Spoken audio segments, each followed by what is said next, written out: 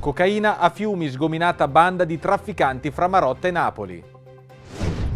Provincia sempre più probabile il trasloco nella sede di Banca Italia. Pesaro guarda al futuro con la casa delle tecnologie emergenti. Elezioni a Fano, De Leo è il primo candidato a sindaco di centrodestra. VL presentazione a Villa Matarazzo con vista sul debutto di Brescia.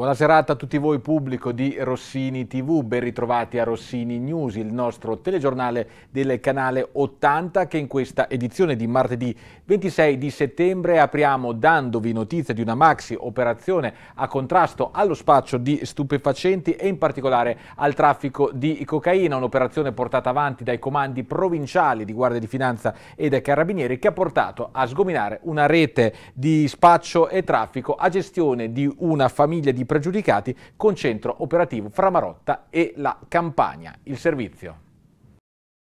11 arresti, di cui 9 con reclusione in carcere e 2 divieti di dimora nella provincia di Pesaro Urbino, più altre 6 denunce. Questi i numeri dell'operazione denominata Affari di famiglia che ha consentito alla Guardia di Finanza e i carabinieri di Pesaro Urbino di sgominare una banda di trafficanti di cocaina con centro operativo a Marotta e con base d'approvvigionamento a Torre Annunziata nella provincia napoletana. L'indagine scaturita con arresti e sequestri di stupefacente a fine 2022 ha consentito di ricostruire ruoli e condotte criminali di ben 17 soggetti gravemente indiziati di plurime condotte di detenzione spaccio di enormi quantitativi di cocaina nella provincia pesarese. Un traffico che aveva Marotta un centro operativo coordinato da pregiudicati campani che si approvvigionavano da Torre Annunziata per poi rifornire acquirenti di Pesaro, Fano, Marotta, San Costanzo, Acqualagna e Fossombrone. Un giro d'affari gestito in maniera imprenditoriale e quasi monopolistica sul territorio, capace di rifornire la provincia di mezzo chilo di cocaina ogni due settimane. Le indagini hanno documentato come il gruppo di trafficanti e spacciatori fosse gestito da un pregiudicato napoletano detenuto in carcere per reati di droga, ma in grado di veicolare le proprie direttive anche da dietro le sbarre. Si serviva infatti della propria compagna e di altri parenti, i quali, avvalendosi a loro volta di altri personaggi, avevano realizzato una vera e propria azienda a conduzione familiare che coordinava lo spaccio e gestiva i profitti. Gli indagati addirittura utilizzavano i propri figli bambini per eludere eventuali controlli delle forze dell'ordine, occultando cocaina anche negli effetti personali dei minori che viaggiavano in auto con i loro genitori durante numerose trasferte di spaccio. È stato anche documentato che i minori assistevano sistematicamente in casa alle operazioni di taglio e frazionamento degli stupefacenti. Un traffico ulteriormente perfezionato dall'utilizzo di schede telefoniche e veicoli intestati a prestanome. Oltre agli arresti sono stati sequestrati anche un'autovettura e una motocicletta utilizzata per lo spaccio e 81.000 euro riconducibili all'attività criminale. I nove reclusi in carcere sono ora attualmente suddivisi fra le case circondariali di Pesaro e di Napoli Poggio Reale in attesa dell'interrogatorio di garanzia che si terrà dinanzi al GIP nei prossimi giorni. Ed ora ci occupiamo della provincia di Pesaro Urbino e per essere più specifici della sua sede, ovvero lo stabile di via Gramsci che da anni risulta sovradimensionato alle necessità dell'ente. Un ente che cerca dunque stabili adeguati in cui traslocare e continua ad ammiccare in particolare alla sede di Banca d'Italia collocata in via Rossini, angolo via Marsala. Il presidente della provincia Paolini e il direttore generale Domenicucci hanno incontrato il direttore della sede di Ancona di Banca Italia Maurizio Cannistraro e le parti hanno confermato l'interesse reciproco con Banca d'Italia che fornirà alla provincia tutta la documentazione necessaria per consentire di formulare un'offerta d'acquisto. Di recente, in previsione di un trasferimento ad altra sede, il Consiglio provinciale aveva anche approvato la variante urbanistica per valorizzare a livello patrimoniale l'edificio di Via Gramsci, intervenendo sulla flessibilità della destinazione urbanistica. E a piccoli passi prende forma anche il vecchio Palasport di Viale dei Partigiani, futuro Auditorium Pala Scavolini.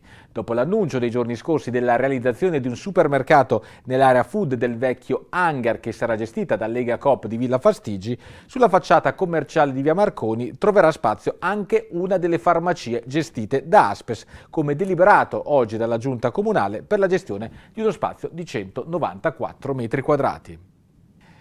E prende consistenza anche il progetto pesarese della Casa delle Tecnologie Emergenti, un progetto di innovazione che oggi ha avuto un altro importante momento di confronto a Palazzo Gradari.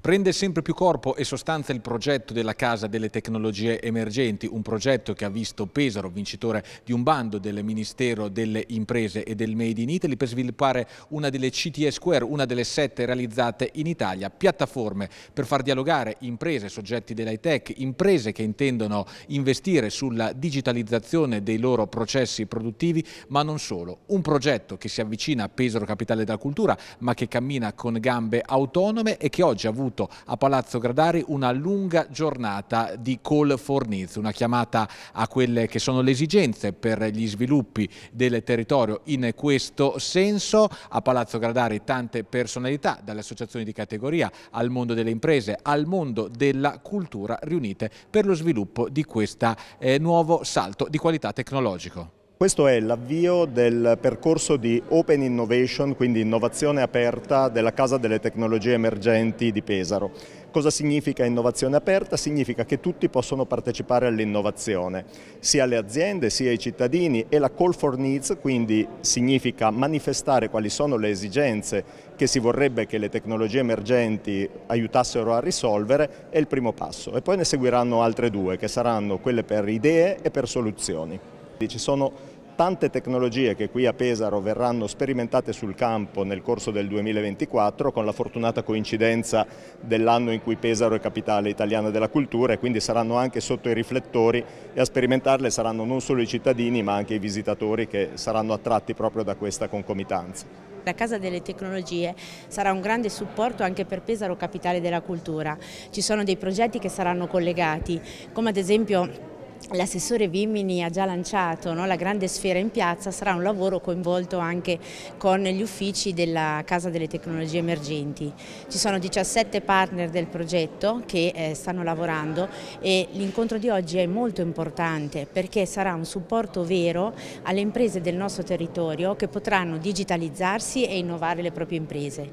Quindi è un progetto che il Comune di Pesaro si è caricato sulle spalle e dovrà seguire quindi di conseguenza tutte le imprese del nostro territorio.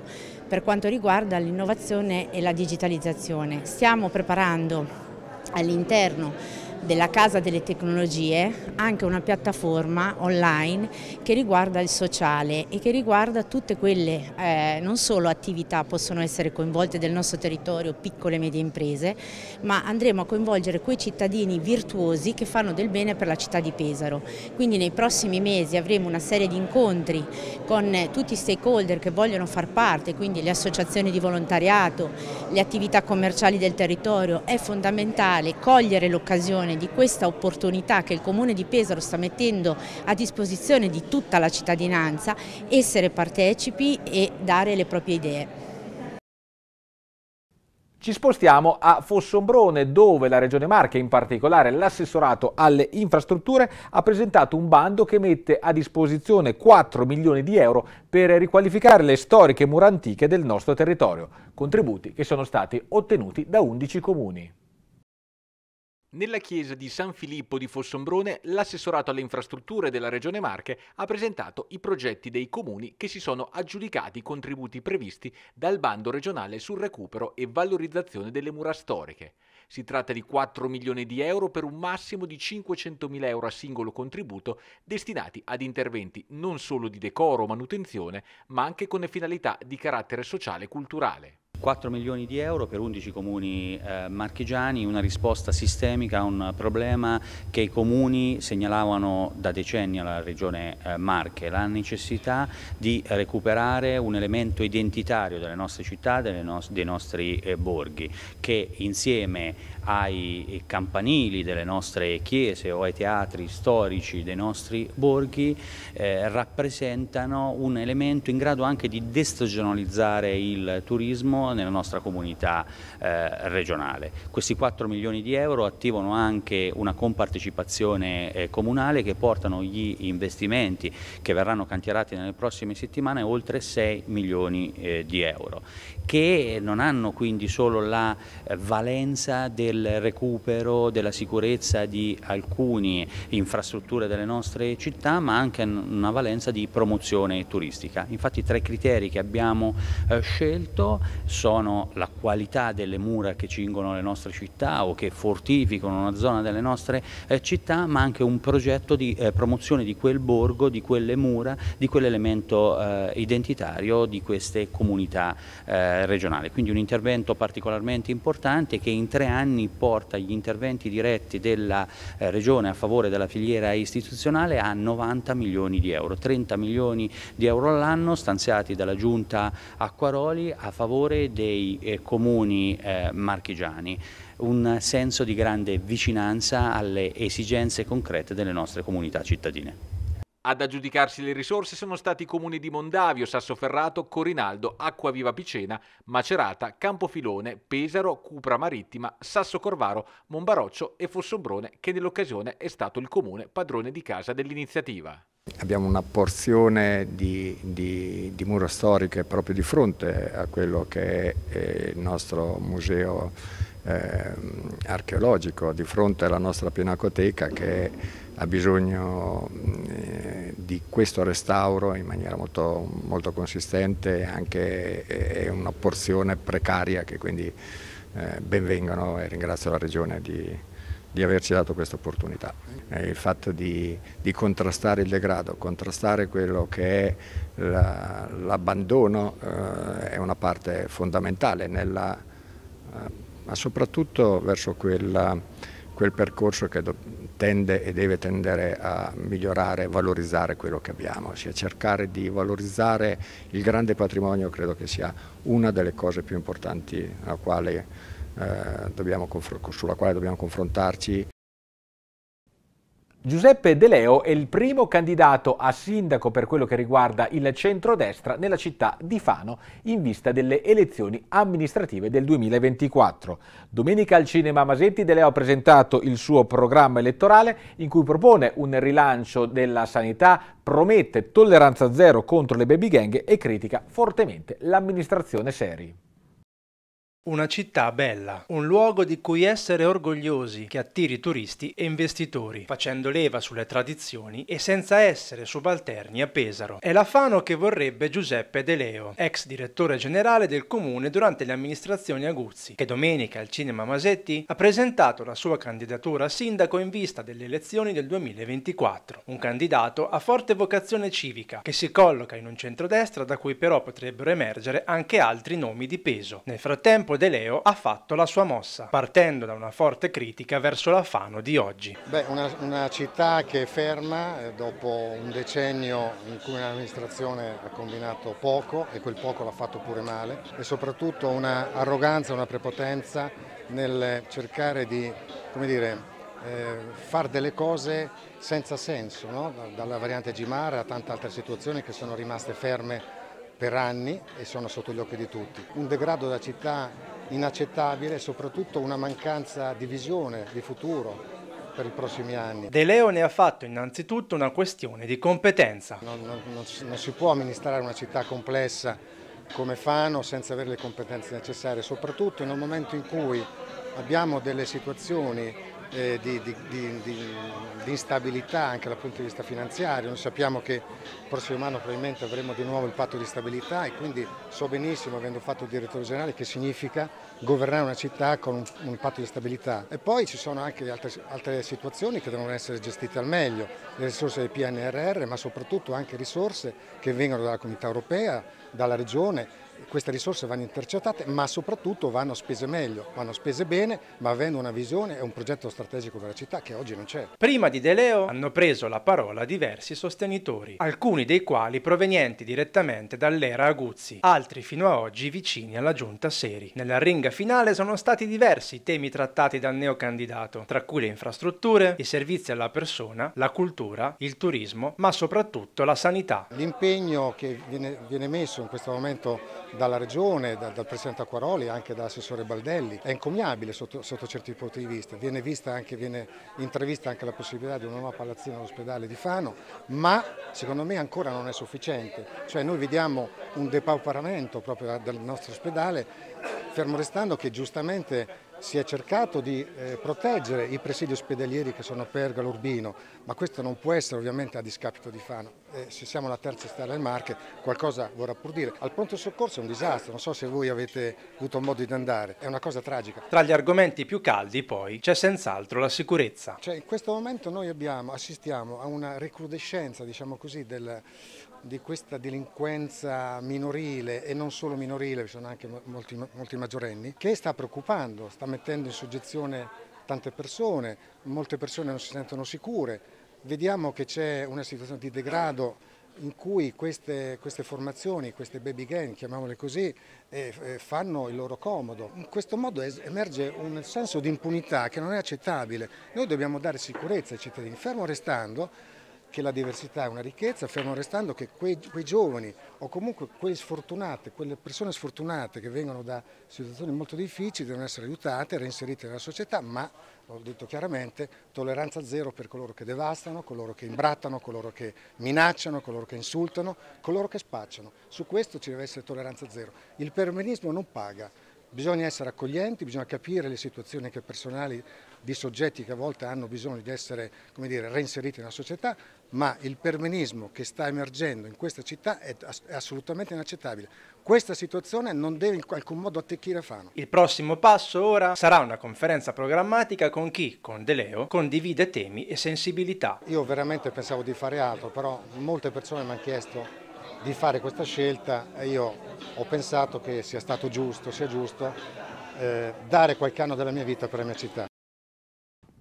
Torniamo su Pesaro, dove il Consiglio Comunale di ieri, attraverso l'assessore Enzo Belloni, ha annunciato l'installazione di altre 30 colonnine di ricarica elettriche per auto e bicicletti in città, facendo salire così a 80 la cifra di postazioni presenti appunto a Pesaro. Per quanto riguarda le autovetture, le colonnine sono attualmente 45 e ne verranno aggiunte altre 15.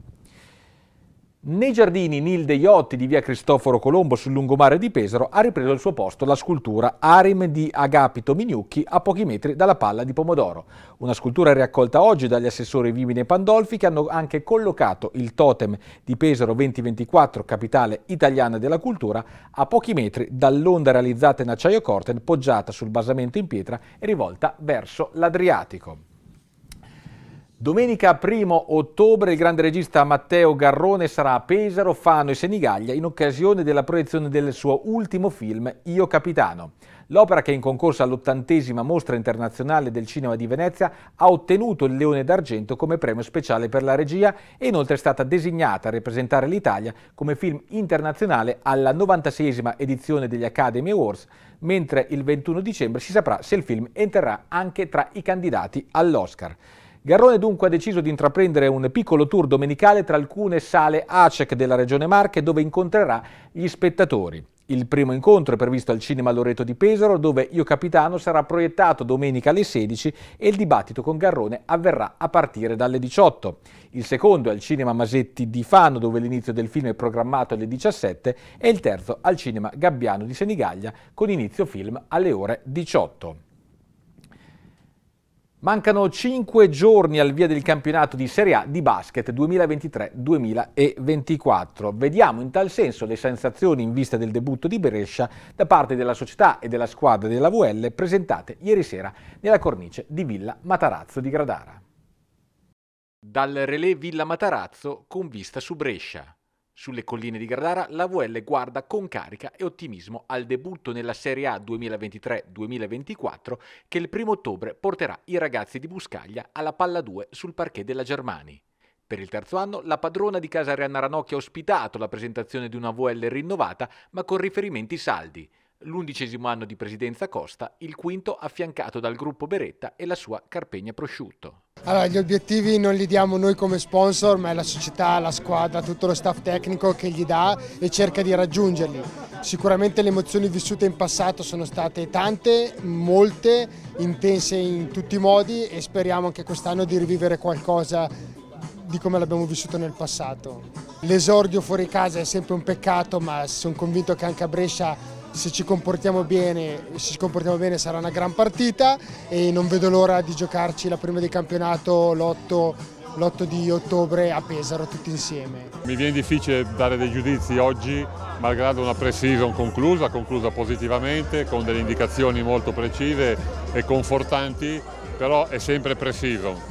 Da domenica, quindi ormai meno di una settimana, fra meno di una settimana avremo l'ennesimo campionato che parte, siamo pronti abbiamo avuto qualche acciacco, speriamo che si dimentichi presto e quindi ripeto siamo pronti ad affrontare questo campionato che è difficilissimo a cominciare da domenica. Come ho detto prima il gruppo è super, tutti si impegnano al massimo, dal primo giorno che l'ho visto ho visto già che c'è una bellissima alchimia, tutti i ragazzi predisposti al sacrificio, eh, per esempio adesso Scott che, che, stava fuori per un po' di settimane, adesso sta, sta facendo tutto per entrare in forma, Gavin anche terapie su terapie per, per, essere pronto per Brescia, speriamo di essere tutti quanti pronti per giocarcela appunto domenica. Per come abbiamo giocato queste partite secondo me possiamo, possiamo dare fastidio a tutte le squadre, insomma. In attacco Adesso l'ultima partita siamo a quota 90 punti che non è, non, è, non è, scontato, in difesa dobbiamo essere un po' più cattivi, sui rimbalzi, palle vaganti, dobbiamo essere un po' più sporchi però la qualità offensiva non è male. Secondo me, eh, guarda, l'impegno è, è, molto alto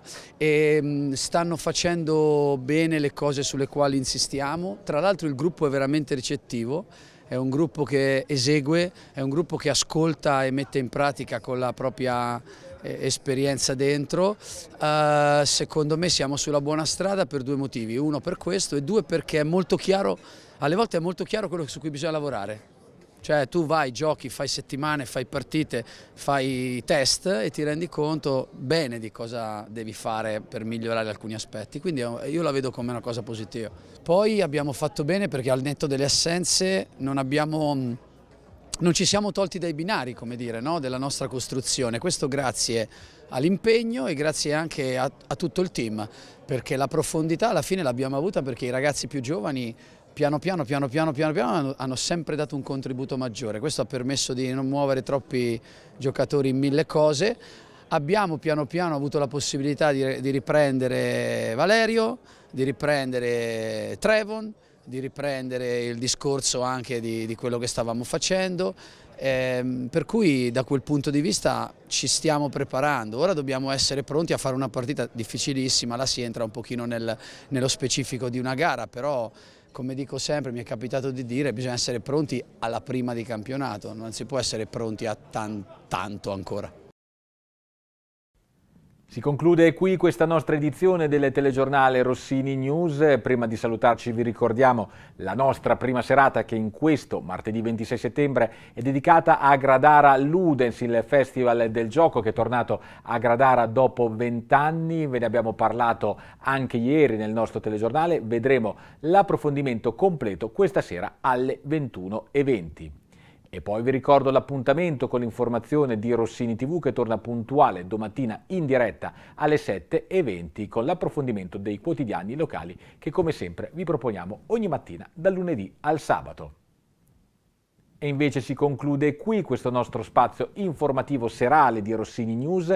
Vi ringrazio per averci seguito e vi auguro una buona serata in compagnia dei nostri programmi.